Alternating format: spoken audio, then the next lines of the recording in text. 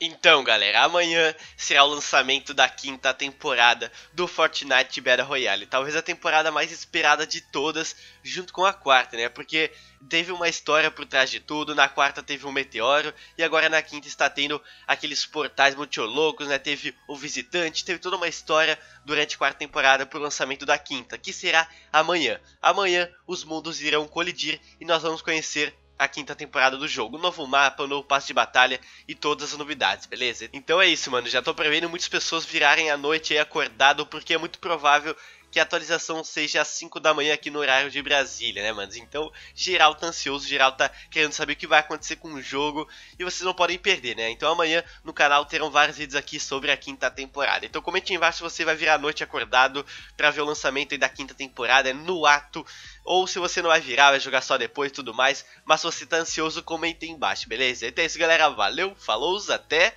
a quinta temporada. Não, mentira, hoje tem vídeo ainda, mas os próximos vídeos de Fortnite importantes serão aí amanhã sobre a quinta temporada. Então é isso, galera. Falou!